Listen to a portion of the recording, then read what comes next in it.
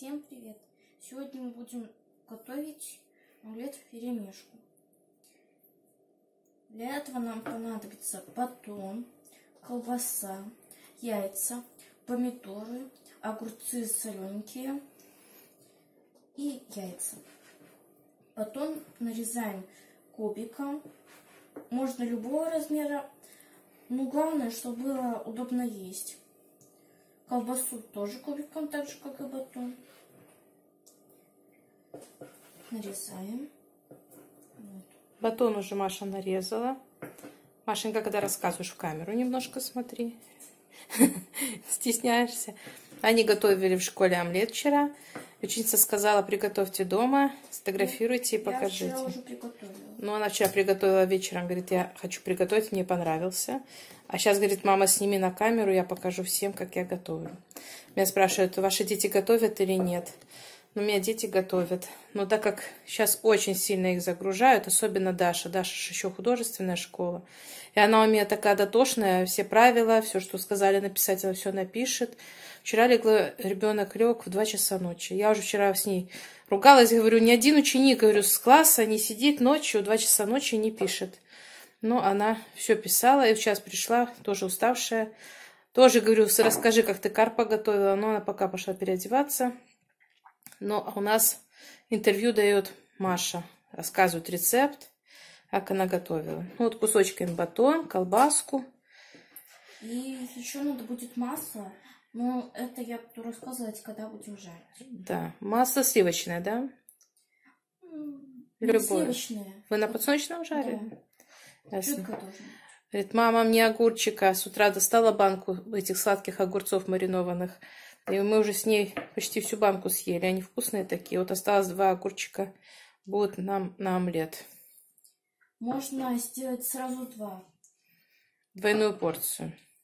Нет, два два, один с огурцом, а другой с помидором. А, два омлета? Да. А сразу вместе не будешь смешивать?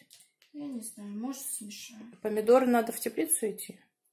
Ну, можно и здесь. Или ты только с огурцом сделаешь? Ну, можно и с помидором.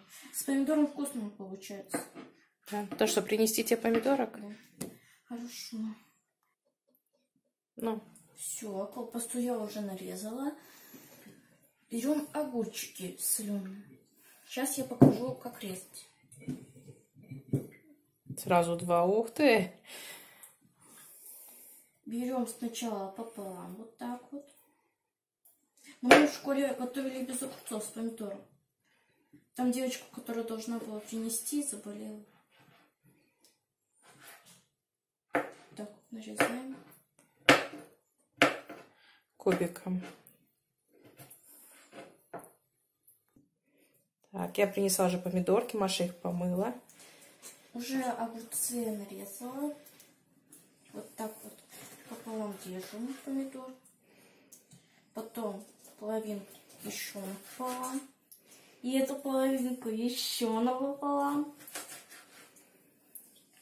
И эту еще половинку напополам. И все, нарезаем.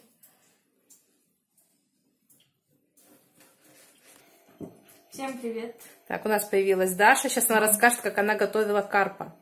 Так, для начала надо сказать, какие продукты надо. Надо масло 100, подсолнечное 80 мл. Дальше сметану 20% 180 мл.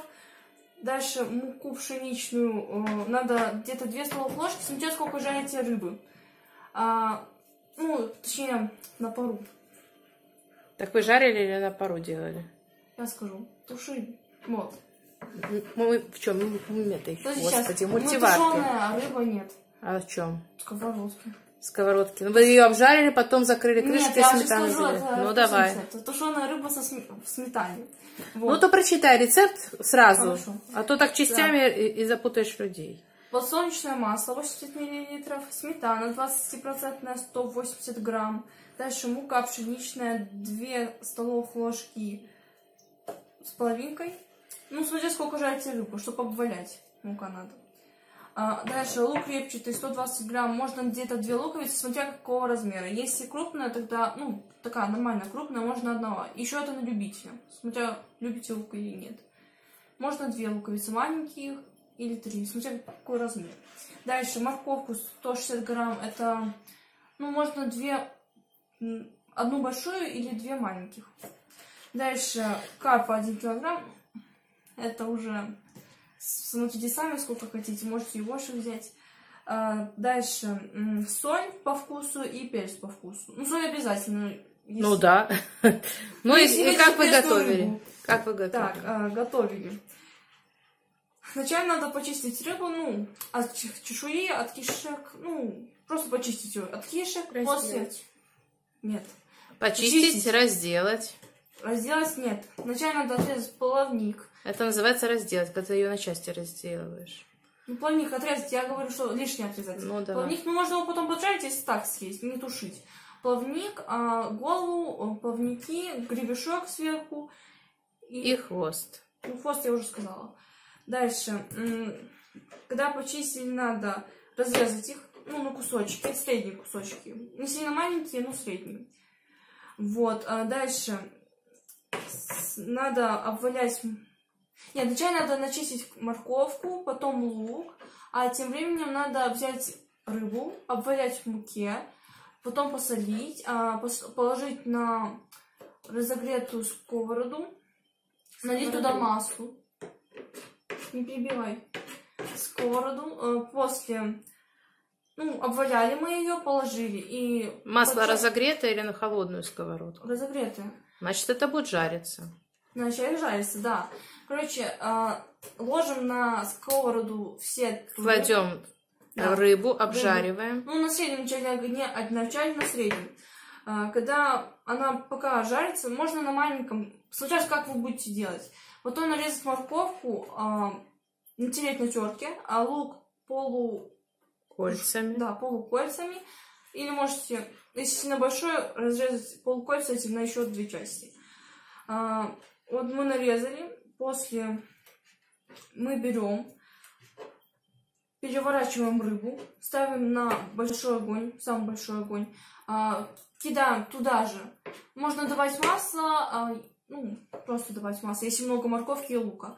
Добавляем сверху лук э, и морковку. А после, э, смотря когда она, когда она поджарится, надо ее перевер- перевернуть, перемешать все это с морковкой и луком и ждать, пока оно пожарится. Ну, когда оно Короче, пожарится. обжарили, рыб- обжарили рыбу с одной стороны, Потом потом перевернули на вторую, закинули овощи, Да. все вместе пережарили. Вначале она должна одна сторона пережариться, ну, не знаю, где-то... Просто одна чтобы минута, рыба не, чтобы не Потому развалилась. что она может подогнуть, ну, подгореть. Подожди, я говорю. Она Сейчас Машенька выкладывает помидоры. Можно параллельно. Давай, Маша. Выкладывай. она должна поджариться, перемешали. После добавляем сверху сметану 180 милли- м, грамм. И закрываем крышкой, ставим на минимальный огонь и ждем 7 минут, пока сметана не расползется. Ну, если как- то есть карпы, они ну, могут не получиться цельными. Что там кости, аккуратно кости.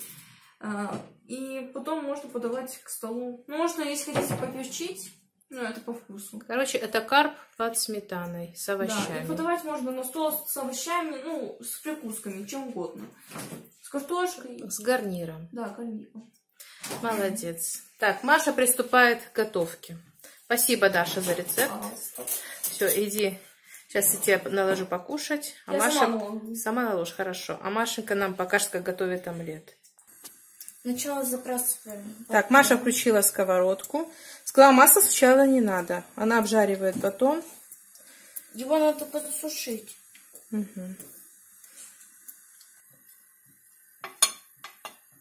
Постоянно помешиваем. Можно переворачивать, чтобы он подсушился со всех сторон. Так. Подливаем немного масла. Берем ложку. Перемешиваем.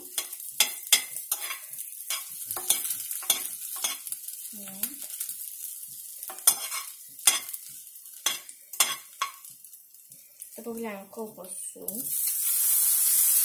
Бери тарелочку и вот так. И снимай.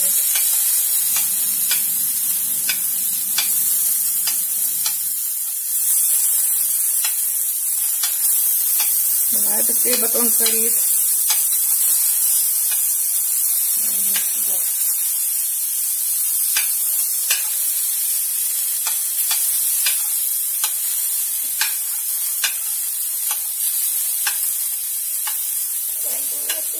Это вспоминаю, как я горошек в детстве резала. И мама моя смотрит и говорит, боже, ты еле-еле его режешь. Так и Маша по одной штучке сковородку закидывает. Перемешивай, хорошо, здесь уже горит. Крошки, видишь, ты Маша налила крошки ну там? Крошки попирали. Ну сколько получилось?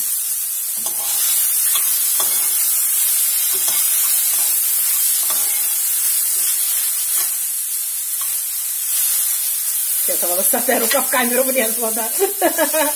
Самое главное здесь получается обжарить колбасу двух сторон. С всех сторон.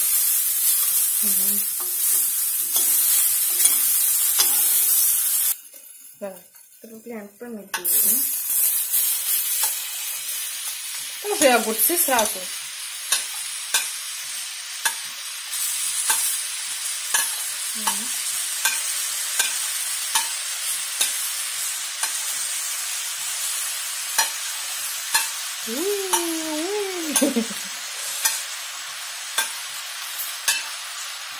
Перемешивай.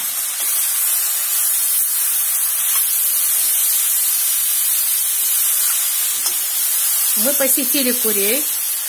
Яйцо снесла только одна курица, поэтому мы добавили немножко молока. По рецепту надо 5 яиц. Вообще 10. Но у нас была сковородка чуть меньше, чем это, поэтому мы сначала 5 яиц слили в одной тарелке, добавили на одну порцию, потом еще 5 яиц. Ага. Короче, Ну, у нас вообще этот э, бюджетный вариант. У нас одно яйцо, разбавленное молоком.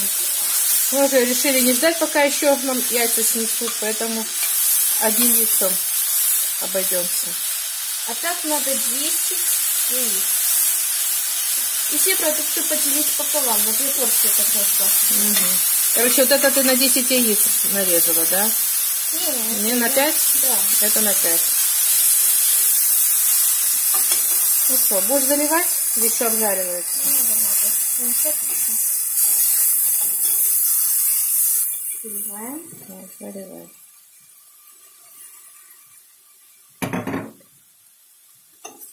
Все перемешай, чтобы яйцо покрыло.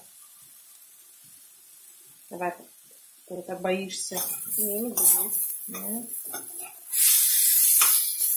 сейчас схватится. Оно быстро Схватывается быстро.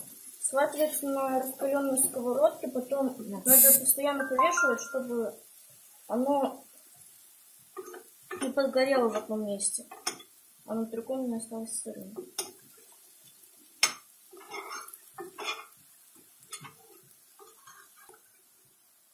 Ну, так как с молоком, то оно более жидкое, а если молока нет, то яйца сразу схватываются.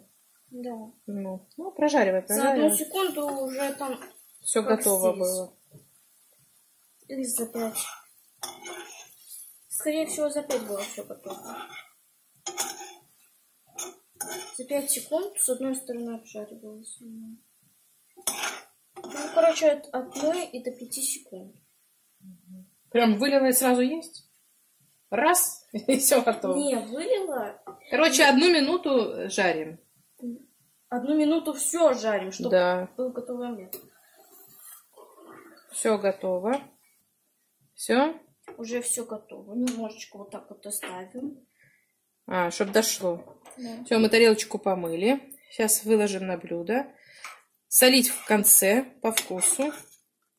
Можно и не солить. Даже я ну, не- если колбаса соленая, можно не солить. В классе, как я поняла, она говорит, не солили.